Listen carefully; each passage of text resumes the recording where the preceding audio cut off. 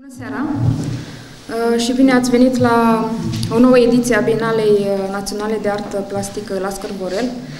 Um, voi, fi, voi intra direct în subiect și voi fi foarte subcintă. Um, ne bucurăm că și anul acesta, ca la, uh, bineînțeles ca la toate edițiile anterioare, a fost, am avut parte de foarte mulți participanți, dovadă că statutul Bienalei de Artă în continuare își păstrează interesul uh, și um, vis-a-vis -vis de public și de uh, comunitatea artistică.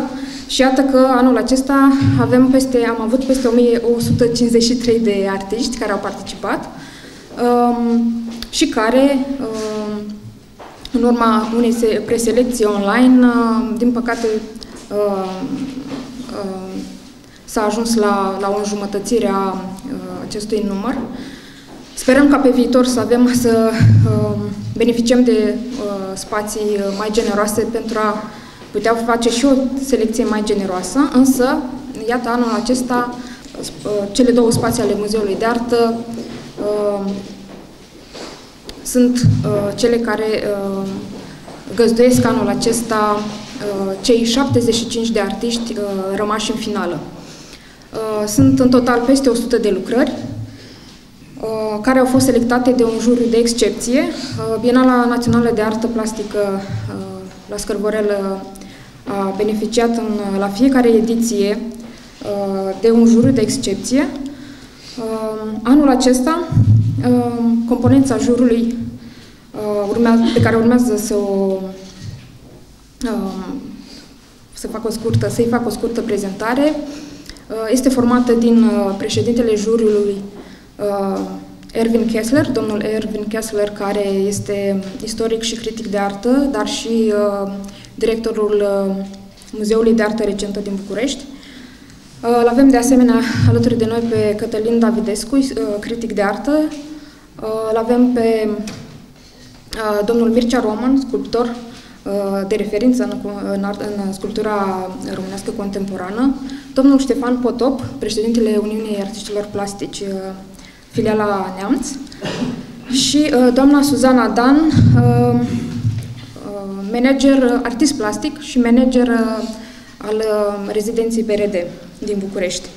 Din păcate, doi dintre membrii jurului nu au putut rămâne alături de noi, însă sunt sigură că ceilalți membri ai jurului Uh, și mă referim în special la domnul Cătălin Davidescu, sper să fie cel care uh, căruia îi vom da cuvântul pentru a uh, vorbi puțin despre ceea ce s-a întâmplat la această ediție.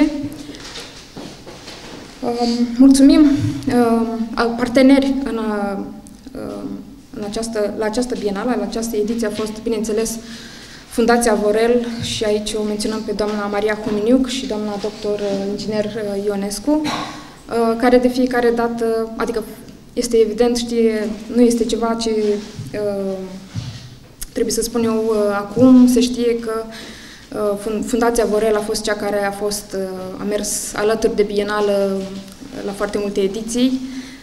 Din 2021, de la ediția anterioară, a preluat Complexul Muzeal Național proiectul, însă ei sunt partenerii noștri fideli și Bineînțeles, și uh, menționăm și Uniunea Artiștilor Plastici ca parteneri uh, de bază.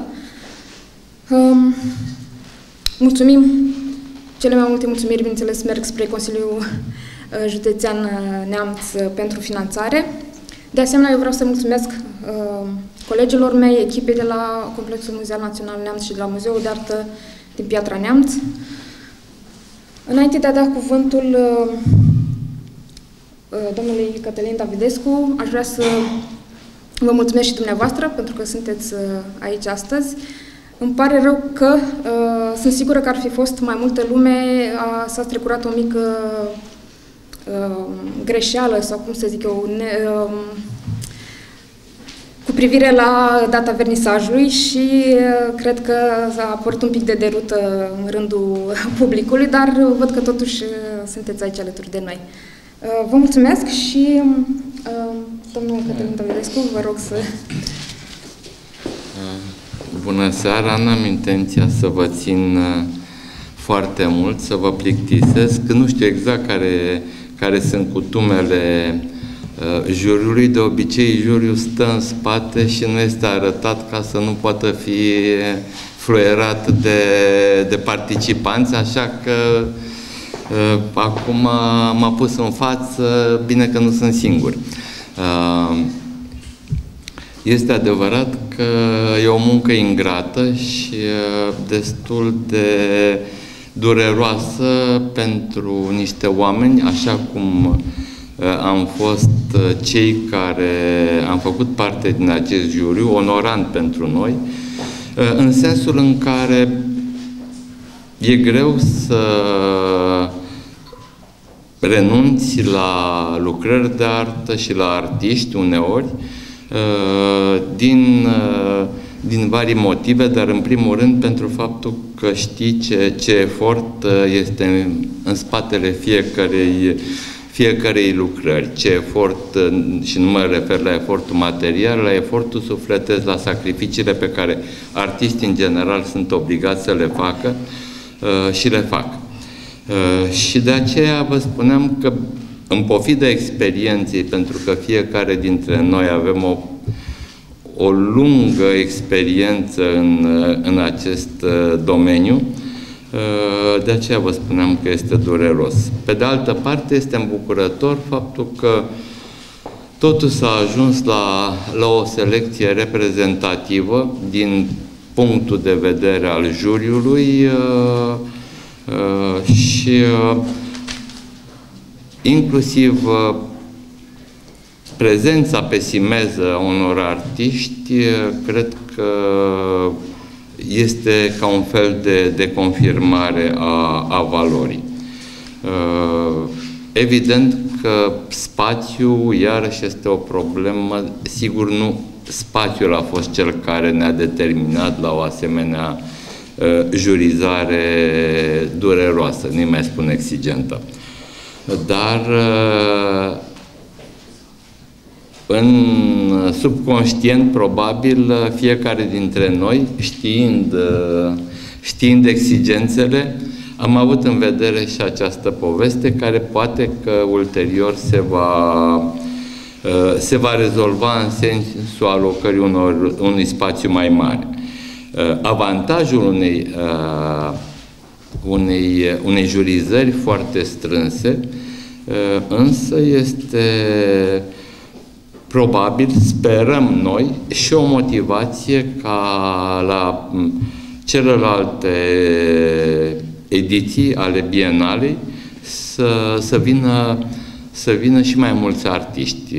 Evident că targetul în, în acest moment au fost în primul rând tinerii, Eh, dar evident nu numai ei, ca dovadă că sunt eh, vârste diferite pe, pe simeze și stiluri diferite. Eh, n-am decât să, să felicit muzeul și, în primul rând, așa cum s-a mai spus, Asociația, Fundația Lascar Vorel, că duce cu cinste, cu mare cinste, Uh, acest nume al unui pictor de excepție care, din păcate, încă așteaptă să fie descoperit și care, cu siguranță, uh, va fi surprinzător de bine uh, primit în momentul în care va reuși să fie cu adevărat dezvăluit publicului național și internațional, pentru că uh, așa cum mi-am reîmprospătat zilele astea uh, vizual, uh, uh, mă rog, cu, cu lucrările lui, uh, chiar cred că este un potențial care este foarte puțin cunoscut, cum probabil se va, se va ajunge și cu, cu expoziția de pe Simeze. Vă mulțumesc și scuze că v-am ținut prea mult.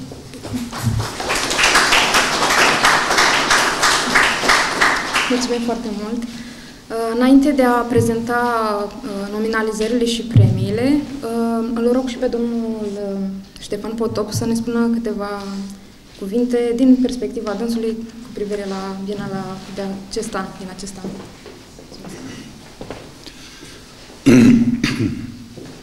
nu eram pregătit, dar să vedem ce iese. Uh, prima dată să uh, reafirmăm faptul că trăim într-un oraș uh, care a însemnat uh, ceva pentru avangarda artei moderne, uh, respectiv uh, expresionistul uh, Lascar Vorel uh, l-am pus primul pentru că uh, datorită lui suntem în, uh, ne întâlnim în seara asta. La fel, uh, suprarealiștii Jacques Herold și Victor Brauner. Este o moștenire pe care trebuie să o ducem cu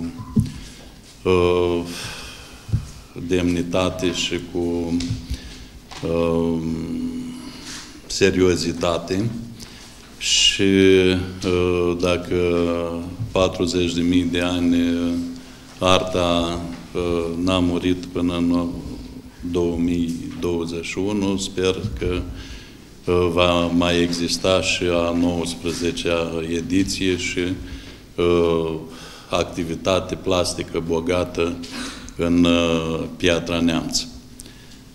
Uh, mulțumesc uh, tuturor celor care s-au înscris și fără de care nu ar fi fost posibilă jurizarea. Mulțumesc Complexului Național Muzeal Neamț pentru logistică și pentru implicare și pentru ce a făcut și ce o să mai facă, că proiectul este la jumătate, trebuie uh, stat în fața publicului în următoarele două, două luni de zile, trebuie expediate lucrările înapoi, trebuie făcut catalogul, treabă nu uh, atât de simplă.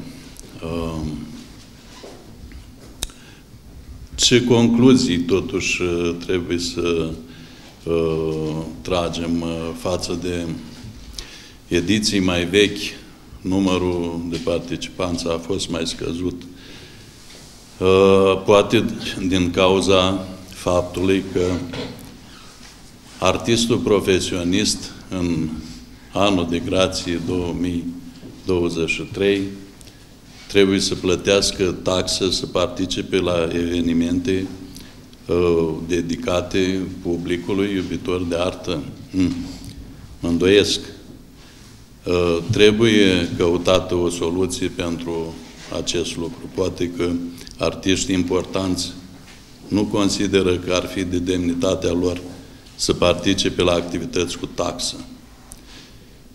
Apoi, poate că o soluție ar fi uh, Acum deschid o paranteză. Uh, Vasile Kandinsky sau uh, Corneliu Baba sau în uh, explicațiile lor didactice făceau referire la lumea muzicii.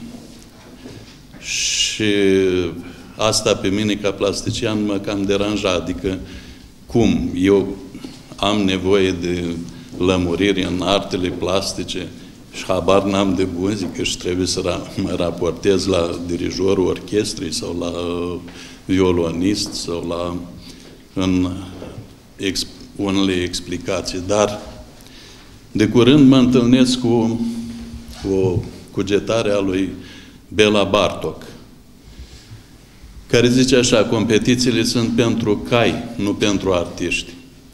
Deci, cine s-aude strigat în seara asta, să nu fie neapărat foarte bucuros și cine uh, nu s-aude strigat, să nu fie foarte trist.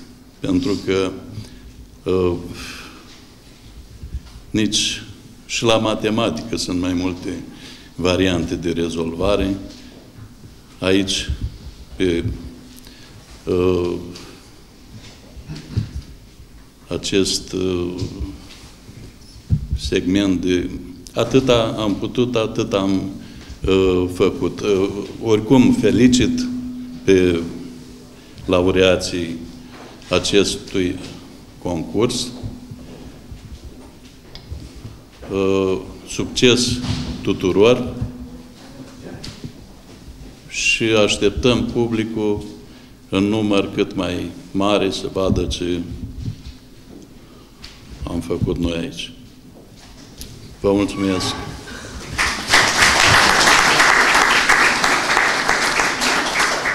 Mulțumim foarte mult! Um, da, premiile, um, voi spune mai întâi, um, uh, deși nu, nu cred că voi spune direct, uh, deci premiul pentru pictură, Dănuț Adrian Chidon Frunză, din Iași, uh, cu lucrarea portret, o să o regăsiți sus. Nominalizați la această categorie au fost și Alexandru Antonescu, din Alba, Rudica Elincă din Deva și Amar Al-Nahaz din București.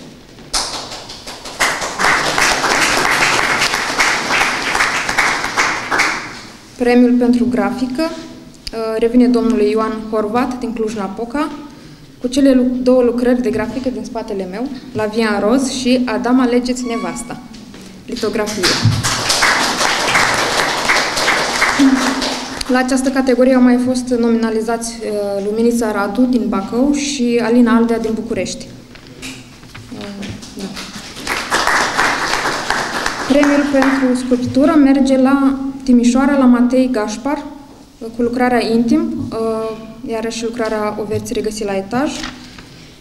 Nominalizați la această categorie au mai fost Ioan Burlacu din Bacău și Lucian Tudorache, Piatra Neamț. Premiul pentru debut, oferit de Fundația Vorel, uh, revine Andrei Gabriela Tudor din Galați, uh, cu lucrarea urmează stația Parfumul Teilor. La etaj o regăsiți. Uh, nominalizați la această categorie au fost Simona Berea, din Piatra Neamț, și Cosmin Caraman din Galați.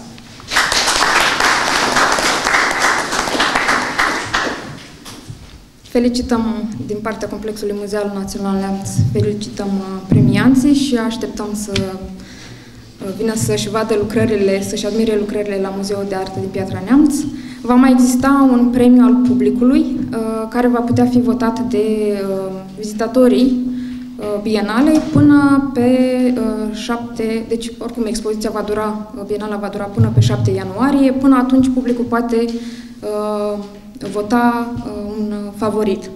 Începând din seara asta. Da, începând da, din seara aceasta. Și uh, da, sperăm că la rândul său va fi uh, fericit că este apreciată lucrarea. Declarăm Bienala, expoziția Bienalei deschisă și vă rugăm să vizionați lucrările din cele două săli. Vă mulțumim foarte mult încă o dată pentru prezență și ne revedem pe hol.